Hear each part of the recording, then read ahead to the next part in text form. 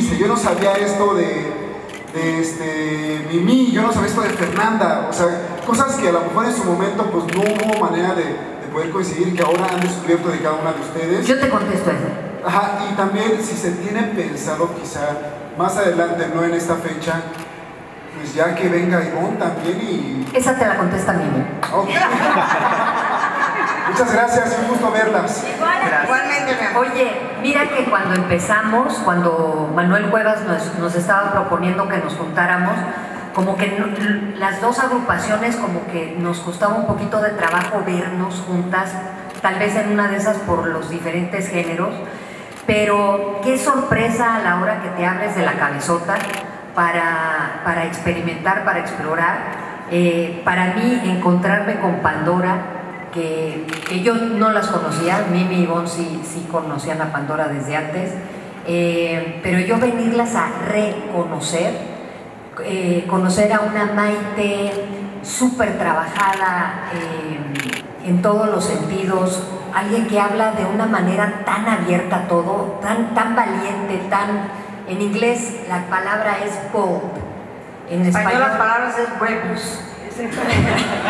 ¿Cuál? ¿Huevos? Huevos.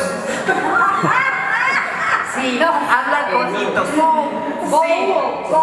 Habla con muchos balls. O malls o wilburs. Eh, la verdad es de que cada vez que abre la boca sí me sorprende y es una enseñanza.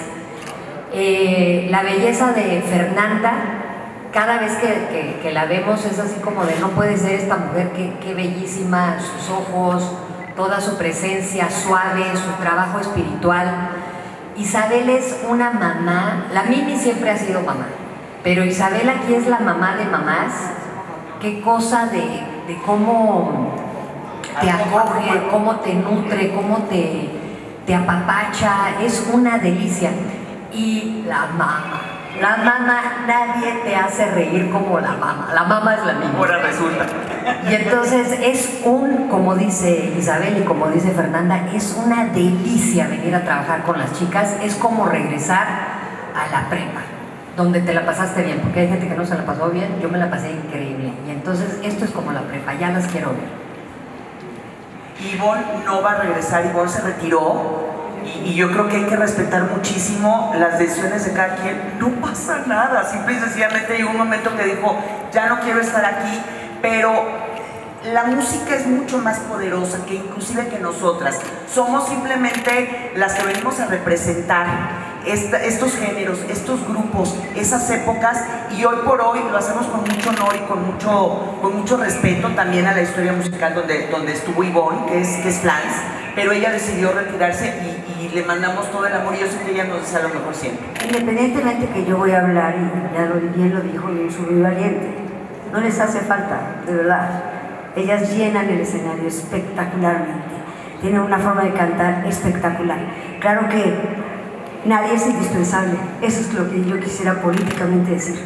Nadie es indispensable. El trabajo de ellas dos es impecable y los aplausos que se llevan son impresionantes. O sea que en verdad, eh, digo, no, no sé si yo esté faltando el respeto en este instante a alguien, pero yo hablo por ellas de esos dos que son con las que trabajo y lo hacen sumamente bien. De verdad, yo Maite, que era fan de las tres, no me hace falta porque llenan absolutamente el escenario ellas dos.